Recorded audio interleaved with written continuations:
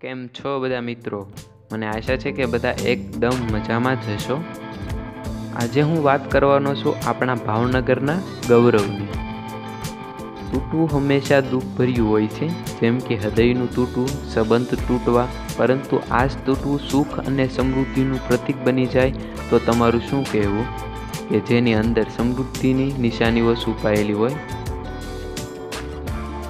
આ વાત છે આપણા ગુજરાતના અલંગની. જ્યાં વિશાળ જહાજ તોડવામાં આવે છે. અહીંયા બાવીસ હજારથી વધુ લોકોને પ્રત્યક્ષ અને બે લાખથી પણ વધુ લોકોને પરોક્ષ રીતે રોજગાર મળે છે. અલંગની સ્થાપના તેર ફેબ્રુઆરી ઓગણીસો ને બ્યાસીના રોજ થઈ હતી. ત્યારથી અલંગનો વિકાસ થતાં થતાં અત્યારે લગભગ એકસો ને સાઠ પ્લોટ છે. ગયા વર્ષે અલંગમાં બસો ને ઓગણીસ જહાજ તોડવામાં આવ્યા હતા. શરૂઆતથી અત્યાર સુધીમાં કુલ સાત હજાર નવસો ને પંદર જહાજ તોડવામાં આવ્યા છે. તેમનું કુલ વજન એકતાલીસ કરોડ ચાલીસ લાખ એકવીસ હજાર બસો ને સત્તાણું મેટ્રિક ટન છે.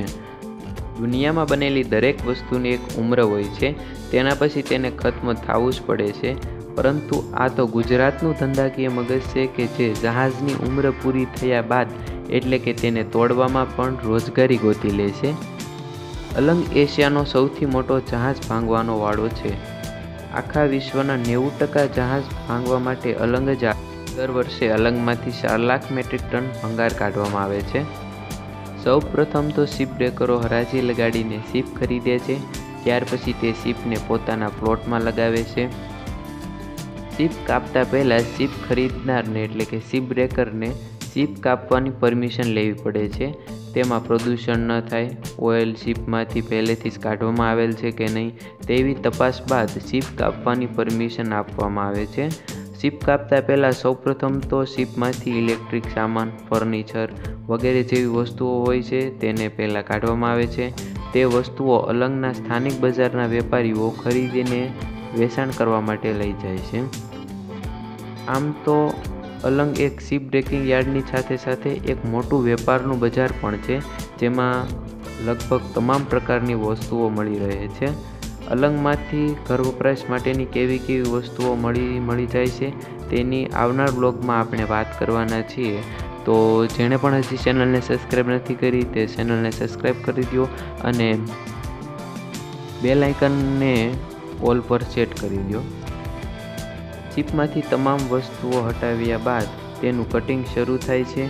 કટિંગ થયેલ લોખંડ તે રિસાયકલિંગ કરવા માટે મોકલી દેવામાં આવે છે. આમ એક ચીપ કાપ, કાપવા માટે લગભગ ત્રણક માસનો સમય લાગે છે.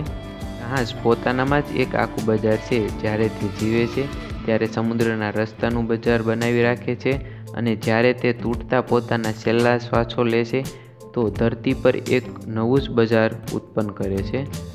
ગુજરાતના ભાવનગરમાં તૂટતા જહાજો અને તેમાંથી મળતી રોજગારી તે પ્રાચીન ભારતની પરંપરાની નિશાની છે કે જે કોઈ પણ વસ્તુને બેકાર નથી જવા દેતી. અસ્તુ. જય જય ગરવી ગુજરાત. જય હિન્દ. જય ભારત.